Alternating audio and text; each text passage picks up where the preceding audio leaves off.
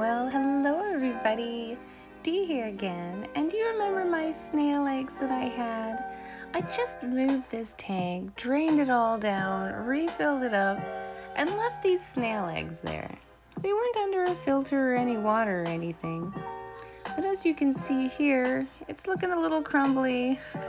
And if you look down into the tank, well, I have to say, moving the fish tank did not affect the hatch rate at all.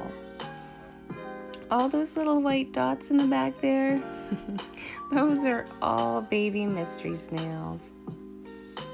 I have to say, the second generation is doing just fine.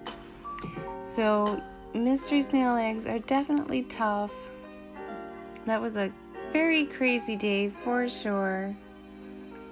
And the egg did just fine, not covered nothing. so I'm looking forward to seeing what the majority of snails end up being this time. That little purple snail there behind the plant is one of those guys' bigger brother or sisters. So thank you for watching and we will see you guys next time.